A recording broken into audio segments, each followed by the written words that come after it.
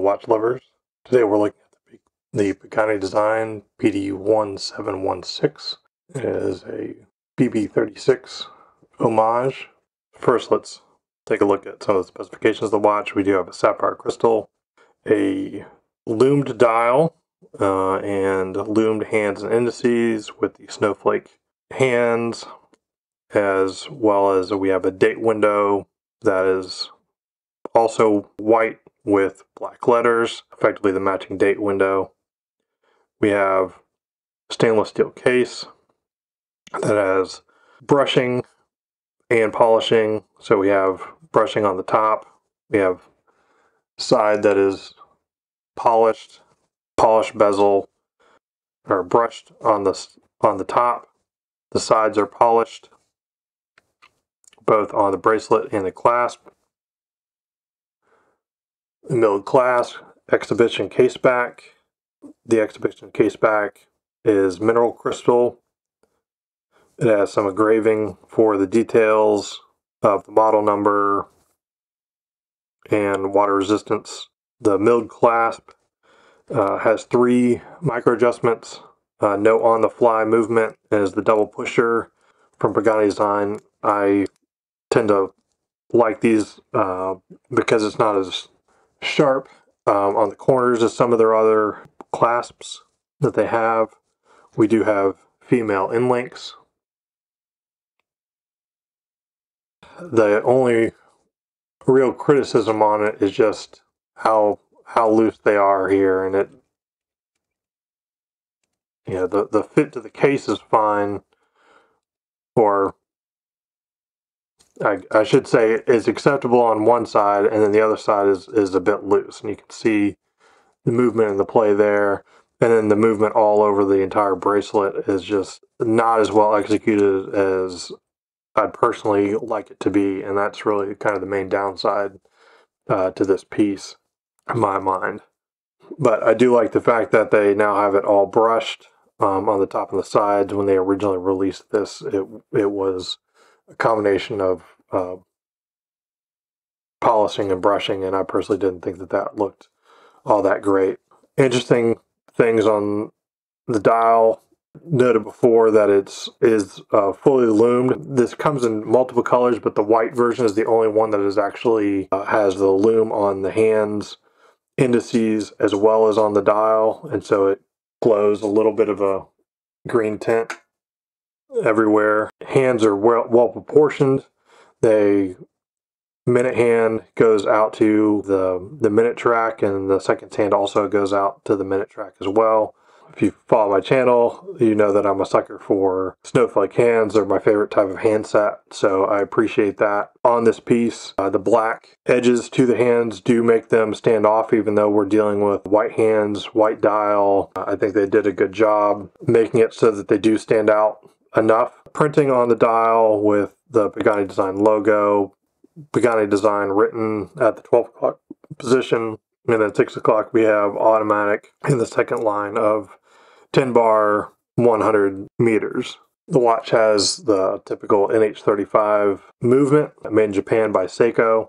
I personally like the, this movement. I think it's always it's always the right choice in my mind because easy to service. They're reliable. I say easy to service. Typically, what you would do is you would go and actually have a watchmaker replace it instead of actually servicing it because it would probably save you a little bit of money by doing that when the time comes. The beautiful thing is just the the reliability and the the smooth function of them.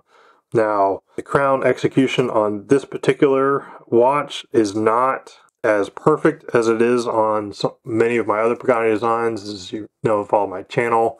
I've owned well over 30 Pagani design watches, uh, so I'm familiar with the brand. I'm familiar with the pieces that they make and the execution. On this one, every now and then the stop function and pushing it back in to get it to wind isn't quite as perfect as it is on uh, some of my other pieces. Now, that isn't to say you can't get to work. I'm just saying that every now and then there'll be some little hang up and I'll have to fiddle with it a little bit to get to pull out, stop the time, and push it back in.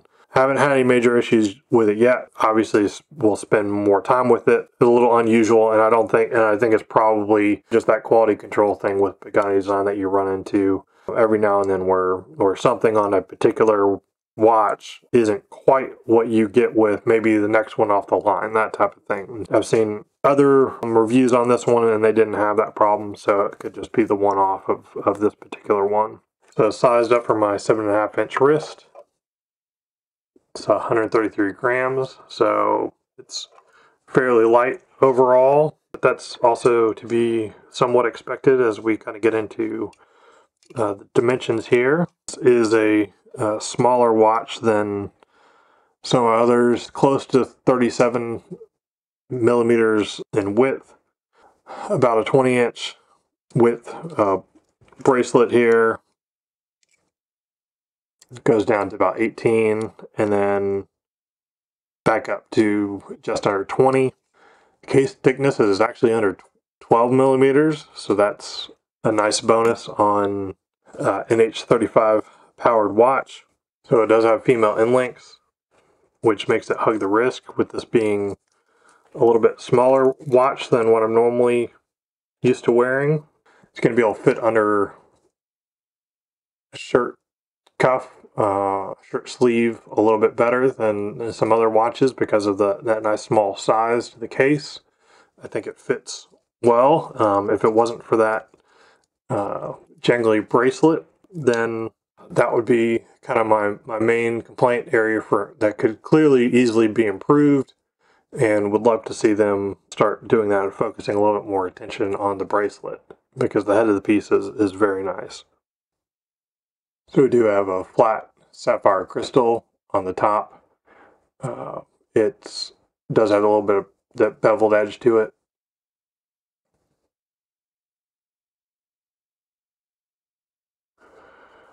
I really like the white dial and having the white dial uh, being lumed on this particular model is is a, I think a nice touch.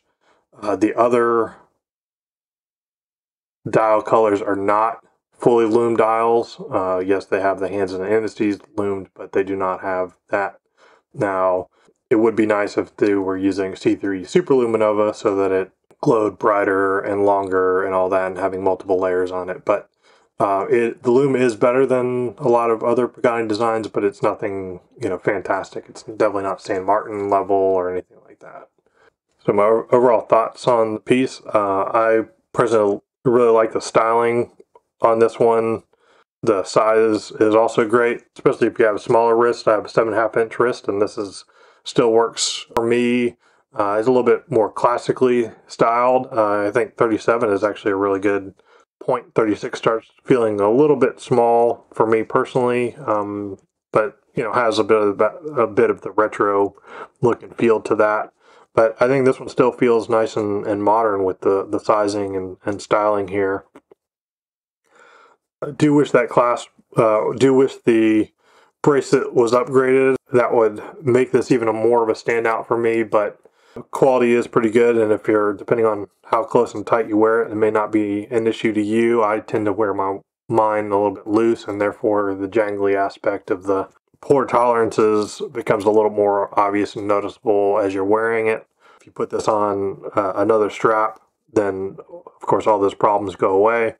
Personally, probably would have uh, liked a no date version on this. Uh, the Tiffany Blue version is a no date, but most of the other ones do have a date window. Uh, I would like to have it with uh, no date, but that's a personal preference, and at least the wheel is more or less color matched here on this particular uh, color. Not as bad as it could have been. Definitely recommend picking one of these up on, on sale if you're into the style uh, and whatnot. Uh, I got a, a, nice discount on these on one of the, the sales, and and for the price I paid, uh, you know, absolutely worth it. Full retail asking price. You have to ask yourself: Is the is the bracelet going to be worth it to you? everything else about it, you got to give them some credit for kind of upgrading the lume at least a little bit compared to some of their other watches and timepieces that they've done. And there are not too many uh, other options on the market at this price at this price point with this type of style. Uh, certainly worthy of some consideration there.